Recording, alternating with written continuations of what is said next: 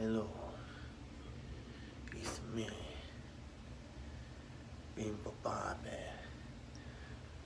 No, um, I just wanted to document this uh, sort of memory or story of uh, when I awoke next to uh,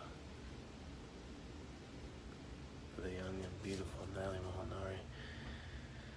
On this occasion, she had